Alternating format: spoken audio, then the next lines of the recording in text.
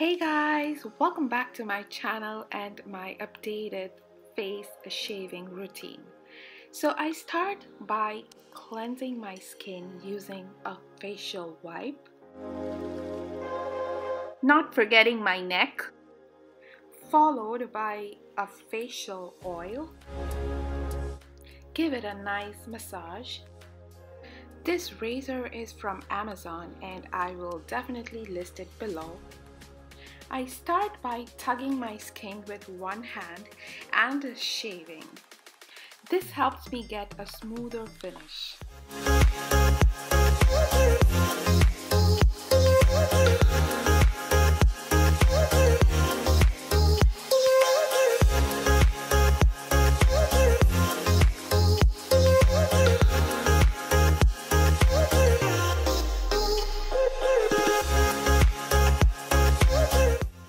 Oh my god, that's really gross.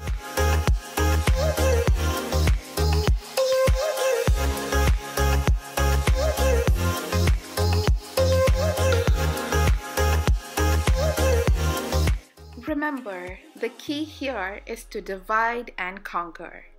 So I basically divide my face into three sections, the left side, the right hand side, and of course the T-zone.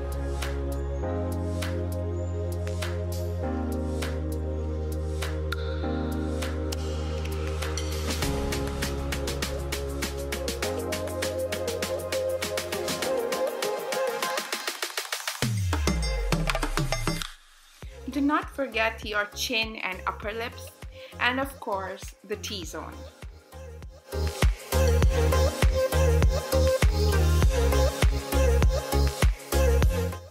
Be extra careful when you are shaving your nose. We often forget that nose is an essential part and we should definitely shave it.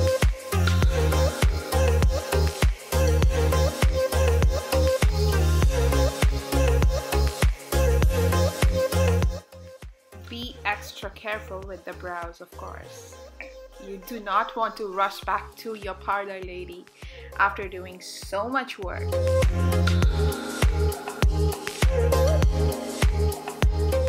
Give it a nice wipe